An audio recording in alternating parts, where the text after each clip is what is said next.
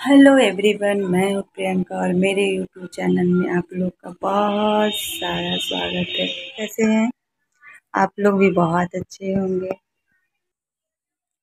तो अभी ग्यारह बजे हैं और आज क्या करने हाय खाए और मैं, मेरा सारा काम कंप्लीट हो गया है और मैं आप लोग को बताऊँगी कि आज मैं क्या क्या करी हूँ। तो आज से हमारा ये जितिया पर्व की शुरुआत होती है। जितिया खैर बच्चे के लिए किया जाता है, जिससे हमारे बच्चे स्वस्थ और खुश रहें। तो अब मैं दिखाती हूँ कि मेरे बच्चे क्या छोटा सा बच्चा है जो बहुत शैतानी करता है और ढूंढते रहता है कि हमें क्या क्या शैतानी करना है। हेलो करो बाबू। आओ, हेलो भी नहीं करेगा, आज बदमाशी कर रहा है। और हमारी प्यांसी है जो पढ़ाई कर रही है। पढ़ाई थोड़ा कम करती है, ज़्यादा ध्यान इधर उधर में देती है।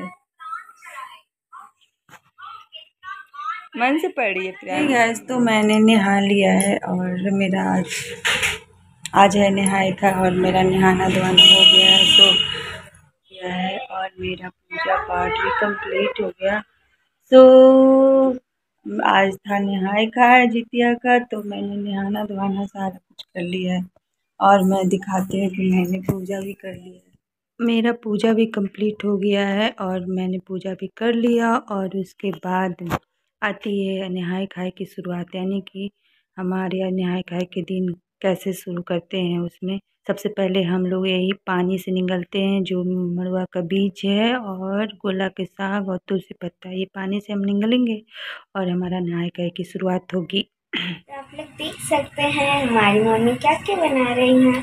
हमारी मम्मी नीमकी बना रही हैं। अभी ठीक वो बन रहा है। देख सकते हैं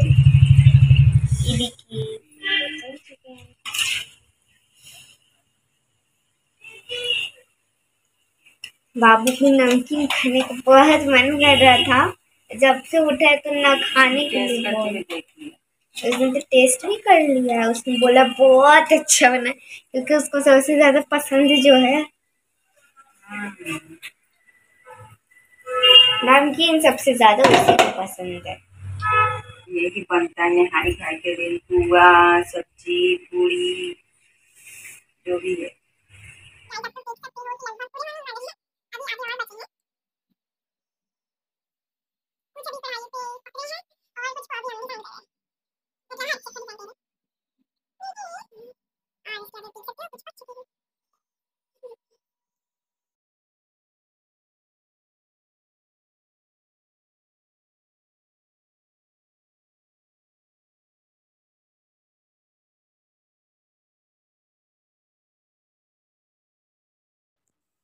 अब मैं आप लोग के साथ कर रही हूँ पुए की रेसिपी शेयर जो मैं आज बता रही हूँ कि मैं कैसे बनाती हूँ पुआ।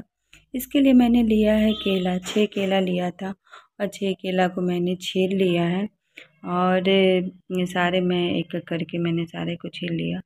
और उसके बाद मैं क्या करूँगी, इसको मिक्स कर पूरा क्रश कर लूँगी, अच्छे से मिक्स कर लूँगी और एकदम अच्छा से, जैसे कि पूरा अच्छे से पेस्ट रेडी हो गया थोड़ा बहुत तो नहीं हो पाता, लेकिन अच्छे से मैंने कर लिया था, थोड़ा बहुत तो रह ही जाता है, चाहे कितना भी कर लो।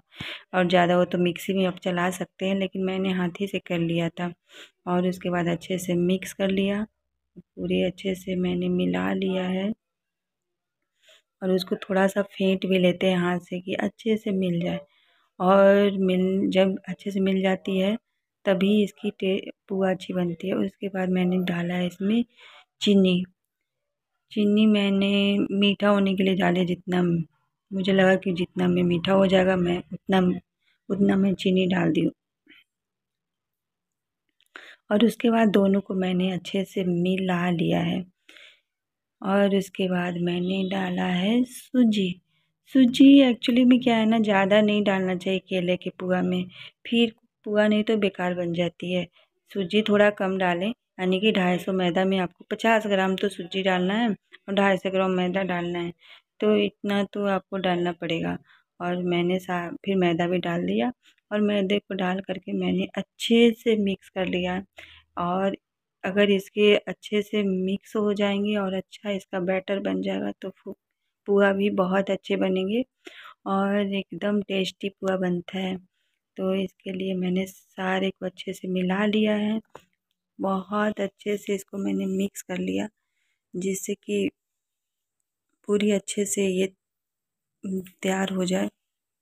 और उसके बाद मैंने डाला है दूध।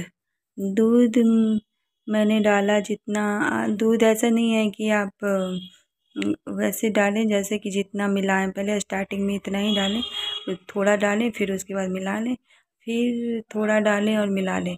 एक बार में ज़्यादा डालने से बेकार हो जाएगा। फिर गोल आपका बैटर है, जो भी ख़राब हो जाएगा। इसलिए थोड़ा थोड़ा करके डालें और मैंने थोड़ा थोड़ा डाल लिया और उसके बाद मिक्स कर लिया है। और मिक्स करके, मिक्स करते करते मेरा ये घोल अब तैयार ही हो गया। मुझे लगा कि अब डालने की ज़रूरत थोड़ा सा है, इसलिए मैंने थोड़ा सा और डाला था।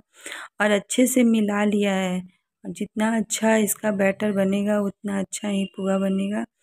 और पुआ बनाने के लिए सबसे ज़्यादा ज़रूरी है कि आपका बैटर अच्छा बनता है या नहीं। अगर आपका सारा कुछ अच्छे से डला हुआ तो बैटर बहुत अच्छा बनेगा।